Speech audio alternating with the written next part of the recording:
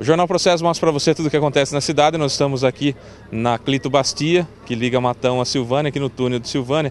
Dá uma olhada ao tamanho da fila que está se formando aqui, porque está tudo parado em virtude de um grave acidente que aconteceu, aliás, um acidente de grandes proporções, mas não de grande gravidade. Um acidente que aconteceu com o Paulinho da Transmendes, quando ele trafegava aqui sentido Silvânia. E agora nós vamos conversar com o Tenente Fernando, do Corpo de Bombeiros, Tenente, um acidente, como eu dizia, com de graves proporções, de grandes proporções, mas não de gravidade, né? Felizmente o Paulinho está bem e a filha dele também, um trabalho muito rápido do Corpo de Bombeiros.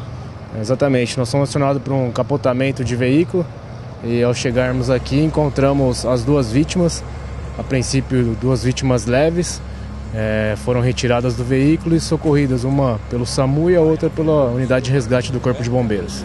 Nesse caso, o procedimento padrão do, do Corpo de Bombeiros qual seria? É, foi imobilizar as vítimas e retirá-la do, do veículo com a maior segurança possível e fazer o socorro imediato para o hospital. E depois fazer o, a retirada do veículo da via que poderia gerar novos acidentes aqui na rodovia. Eles estavam encarcerados ou estavam apenas contidos dentro do veículo?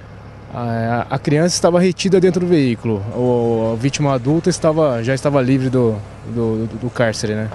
Nesse caso também vocês fazem algum procedimento no carro para evitar incêndio, alguma coisa desse tipo?